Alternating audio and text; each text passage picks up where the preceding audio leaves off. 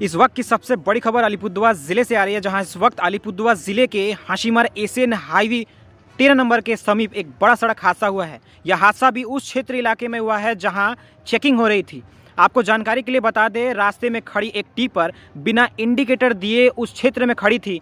इसके पीछे उपरांत ही पीछे एक बाइक आरोही जोरदार टक्कर मारता है, जिससे मौके पर ही उस बाइक आरोही की मौत हो जाती है। आपको जानकारी के लिए बता दें कि उस टीपर की लाइट नहीं जली हुई थी। बड़ा सवाल यह है कि जिस क्षेत्र इलाके में जहाँ नाका चेकिंग की जा रही है, वहाँ के अंतिम जो टीपर है, वहाँ चेकिंग के दौरान अंतिम गाड़ी के इंडिकेटर क्यों नहीं जली हुई थी?